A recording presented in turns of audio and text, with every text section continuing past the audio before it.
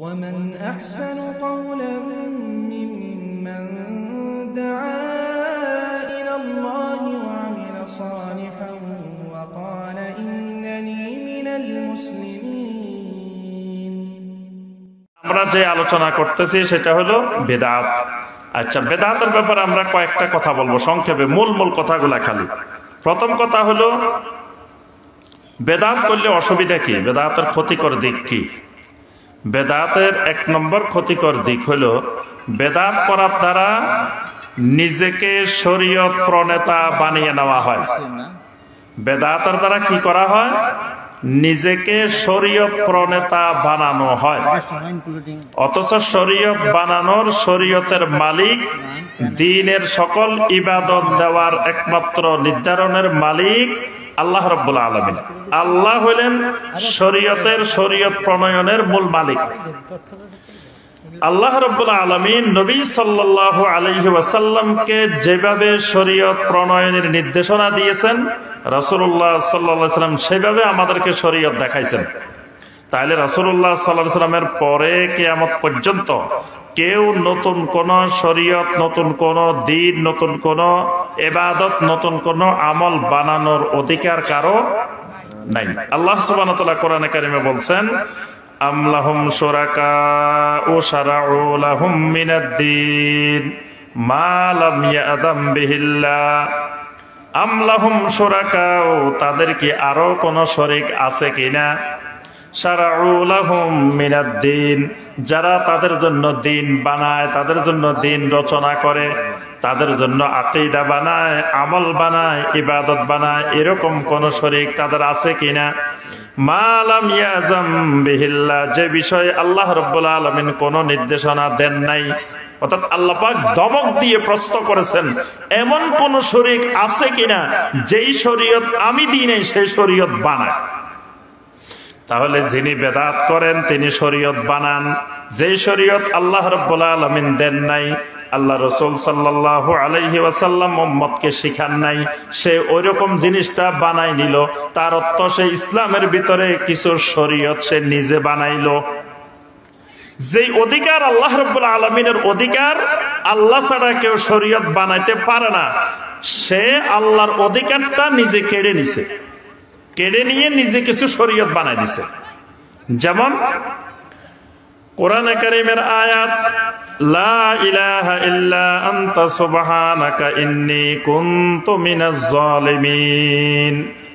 এই পাঠ করেছিলেন। কখন পাঠ করছিলেন? যখন ইউনুস আলাইহিস সালাম মাছের পেটে গেলেন।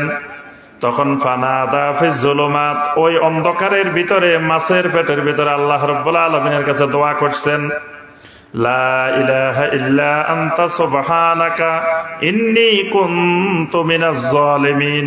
আল্লাহ বলেন, আমি তার দোয়া কবুল করলাম মিনাল গাম্মে। ওই দুশ্চিন্তা থেকে, ওই ফেরেশানি থেকে আমি আল্লাহ ইউনুস আলাইহিস নাজাদ দিলাম। আর এভাবে আমি আল্লাহ ইমানদারদেরকেও নাজাদ দিই সোহান তাহলে এই আয়াতে কারিমা এই আয়াত বা এই দোয়া যদি আল্লাহর কাছে পাঠ করা হয় আল্লাহ রব্বুল্লা আলমিন বিপদ থেকে উদ্ধার করেন। দোয়াটা তাওহিদের দোয়া। লা ইলাহা ইল্লা আনতা আপনি ছাড়া সত্যিকারের কোনো মাহবুদ নাই। সোবহানাকা আপনি সোবহান আপনি মহাপবিত্র আপনি পত পবিত্র আল্লাহ, আমি জালেম হয়ে গেছিলাম, আমার গুনার স্বীকৃতি দিলাম। তাওহীদের উসিলা দিয়ে, নিজের গুনাহের স্বীকৃতি দিয়ে আল্লাহ রাব্বুল আলামিনের কাছে দোয়া করলে, আল্লাহ রাব্বুল আলামিন দোয়া কবুল করেন, সুবহানাল্লাহ। এখন আমি বললাম, ভাইয়েরা, শোনেন, আপনি এক লক্ষ পঁচিশ হাজার সোয়া লক্ষ বার এটা পড়বেন।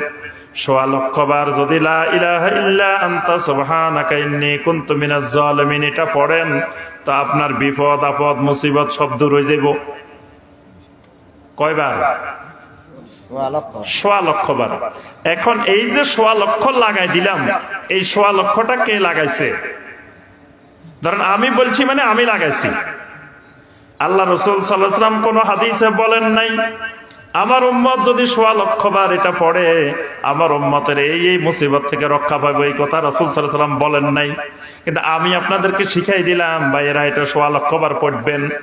এই যে সোয়া লক্ষ বার পড়ার শিখাইলাম, আমি একটা নতুন শরীয়ত আপনাদেরকে বানাই দিলাম। তাহলে আল্লাহর অধিকারটা আমি নিয়ে নিছি। এই বেদাত যিনি বানায়, উনি আল্লাহর অধিকার নিজে নিয়ে নেয়। আর আপনারা যখন শুরু করলেন, আমি আজকে বলে দিলাম, কালকে থেকে আপনারা শুরু করলেন, সোয়া লক্ষ বার এটা পড়া শুরু করে দিলেন, তেঁতুলের বিচি ঘরে ঘরে জমাট করলেন, সবাই মিলে তেঁতুলের বিচি গনে গনে টানি টানি সোয়া লক্ষ বার পড়লেন। তা আমি যে শরীয়ত বানাইলাম, আমি আপনাদের রব হয়ে গেলাম, আমারে আপনারা রব বানাই নিলেন। কি বানাই নিছেন? আমাকে তখন আপনারা কি বানাইলেন? রব বানাইছেন, অথচ আমাদের রবকে একমাত্র আল্লাহ রব্বুল আলমিন।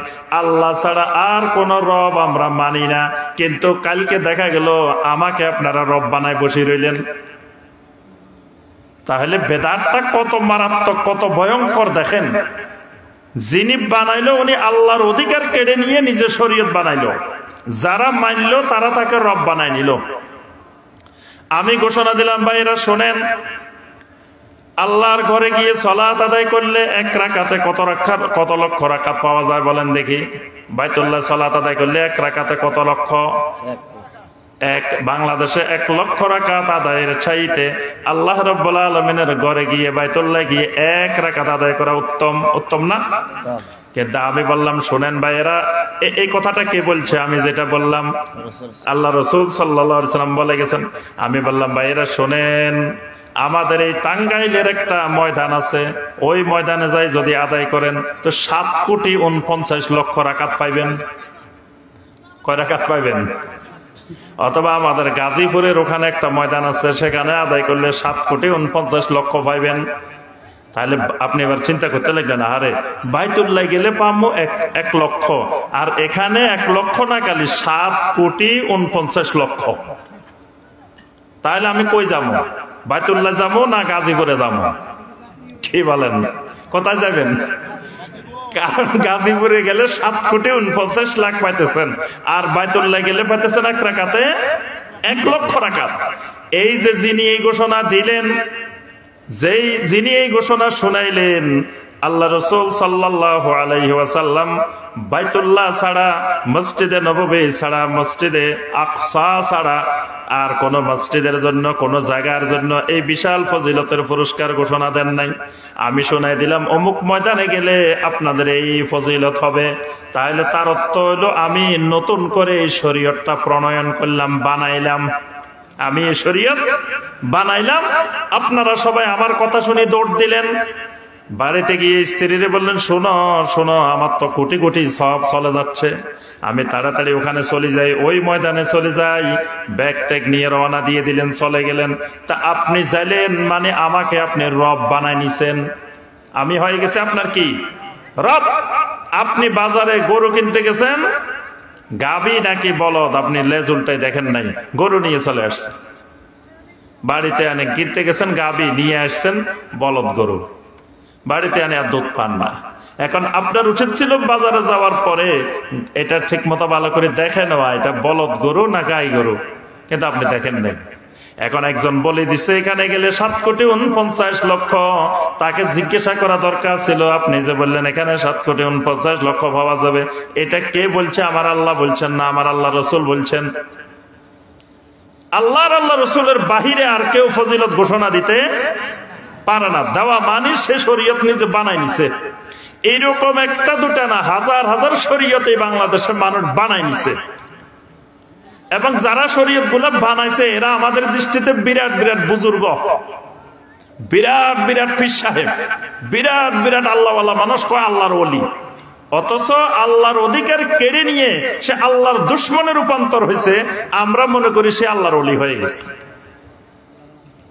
আমাদের এই অঞ্চলে যে যত বেশি বেদাত বানাইতে পারে, সে তত বড় আল্লাহর অলি ধরেন সবাই জিকির করে নবী সালামের পদ্ধতিতে, আমি একটা নতুন জিকিরের পদ্ধতি বানাই দিলাম। তখন আপনারা কবেন যে, দেখো দেখো, আমাদের এই শাহ কত বড় আল্লাহর অলির নতুন জিকির একটার পদ্ধতি বানাই দিছে। এতদিন জিকির করতাম সিস্তিয়া সাবেরিয়া, এতদিন জিকির করতাম সিস্তিয়া নিজামিয়া, এতদিন জিকির করতাম নকশবন্দিয়া, এতদিন জিকির করতাম আপনার কাদেরিয়া তরিকায়। এখন আমাদের শায়েখ হাসি আজকে নতুন এক জিকির বানাই দিছে। যে জিকির হলো তরিকায় ইমামিয়া। কোন তরিকা? তরিকা ইমামিয়ার জিকির বানাই দিছে। কেমনে করতে হইব? দেখবেন ইউটিউব খুললে দেখবেন কত হাজার রঙের জিকির এই দেশে জন্ম হয়েছে। দেখেন না? জিকির করে আর গান গায়, জিকির করে আর নাচে, জিকির করে আল্লাহ পায় কত রঙের সিরিকি সিরিকি গান, কুফরি কুফরি গান। কত রঙের ঢঙ্গের ভিত্তিতে কত রঙের কুকা হুহা কত আওয়াজে, বিচিত্র রঙের আওয়াজে জিকির। দেখা যায় না প্রতিদিন? তাহলে এই জিকির যারা বানাইতেছে, এরা সবাই এক আল্লাহর অধিকার কেড়ে নিছে। এরা সবাই আল্লাহর অধিকার কেড়ে নিয়ে এরা এক একজন আল্লাহর দুশ্মনে পরিণত হয়েছে আর আমাদের কাছে এরা বিরাট বিরাট আল্লাহর দিন না বুঝলে জাহালত যখন বিস্তার লাভ করে, তখন মানুষ এইভাবেই শিরকার কুফরের অন্ধকারে নিমজ্জিত হয়, বেদাতের অন্ধকারে নিমজ্জিত হয়। দিন বুঝলে আপনি পুরা সৌদি আরব ঘুরে আসেন, আরব দুনিয়া ঘুরে আসেন, কোন জায়গায় এই বাংলাদেশের এই সব তরিকার জিকির কোন এলাকায় আপনার চোখে নজরে পড়বে না। কারণ ওই এলাকার মানুষ আল্লাহর দিন বুঝে কিছু হইলেও আর যেখানে আল্লাহর দিনের সাথে সম্পর্ক নাই, এলমের সাথে সম্পর্ক নাই, জাহালত বিস্তার করে, সেখানেই এই বেদাত বিস্তার লাভ করে। তাহলে এক নম্বর ক্ষতি কি বেদাতের? সেটা হলো যিনি বেদাত বানায়, উনি আল্লাহর শরীয়ত শরীয়ত বানানোর অধিকার তিনি কেড়ে নিল। তিনি নিজে এক, নিজেকে একদম তাগত বানায় নিল, রব বানায় নিল। আর জনগণ যারা মানল, তারা তাগতের পূজারি, তারা রব, ওই বাতিল রবের পূজারি আর বা মিন্দুন ইল্লার পূজারি হয়ে গেছে। দুই নম্বর ক্ষতি বেদাতের। যিনি বেদাত তৈরি করেন, যিনি বেদাত করেন, তিনি ইমানের উপরে রাসুল্লাহ সাল্লামের ইমান থেকে তিনি সরে যান, তার ভিতরে নবী সালামের প্রতি পরিপূর্ণ ইমান আসে নাই। কালেমার মধ্যে ওয়াদা করল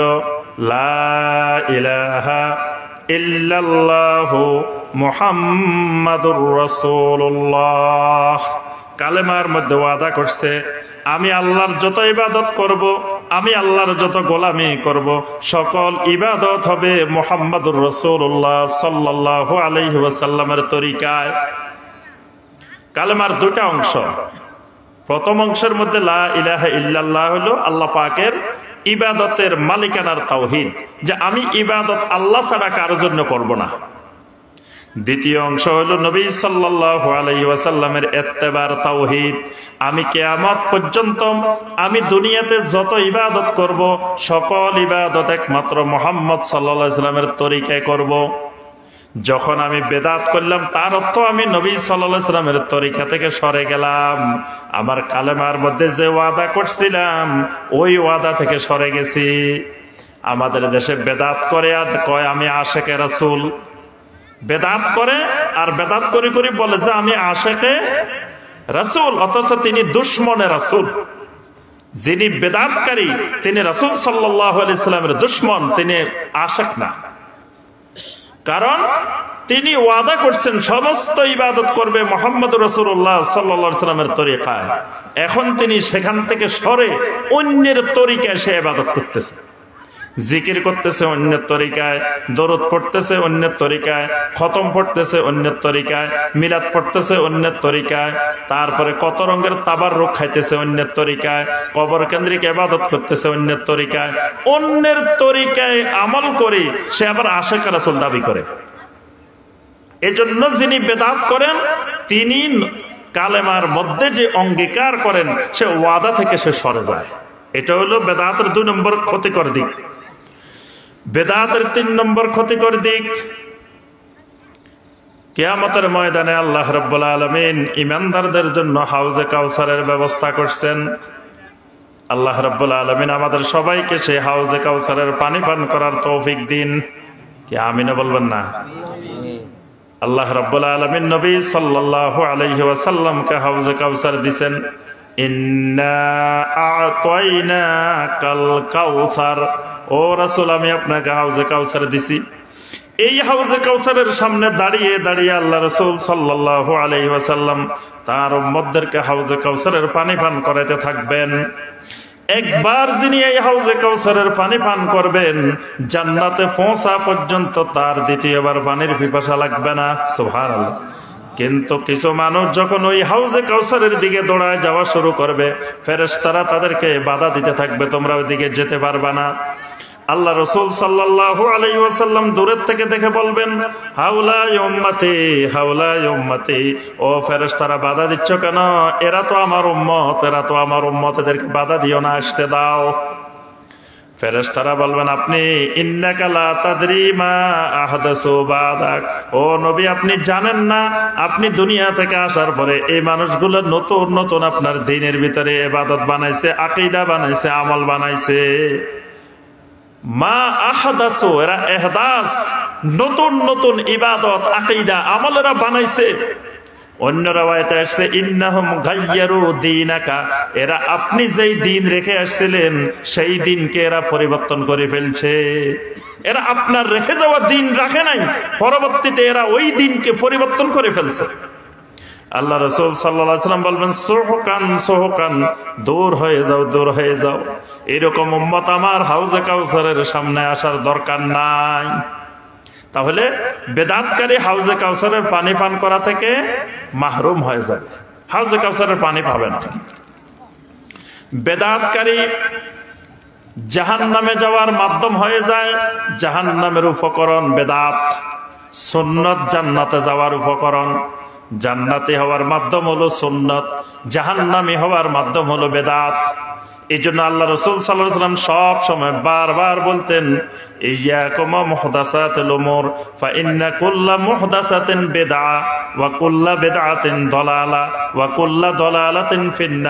ও আমার খবরদার খবরদার, নতুন নতুন আমল, কোন বানাইও না। যদি বানাও, সেটা দলালা, সেটা গোমরা আর প্রত্যেক গুমরাহি মানুষকে জাহান নামে নিয়ে যায়, তাহলে বেদাতেরও পরিণতি জাহান নাম বেদাত মানুষকে জাহান নামের দিকে নিয়ে যায়। বেদাত মানুষকে জাহান নামে নিয়ে যায় জাহান নামে যাওয়ার মাধ্যম। এজন্য বেদাতের আরও অনেক অনেক ক্ষতিকর দিক আছে। এই জন্য একজন মুসলিমকে সবসময় সতর্ক থাকতে হবে। তিনি বেদাত করবেন না, বেদাতের ধারে কাছে যাবেন না, কোন বেদাতের সহবতে যাবেন না। বেদাত থেকে সবসময় সতর্ক থেকে দূরে থাকবেন। যেখানেই বেদাতের গ্রাম পাবে, সেখান থেকে দূরে থাকবে। এটাই হলো একজন আহলুস সন্না একজন আহালুল হাদিসের বড় বৈশিষ্ট্য।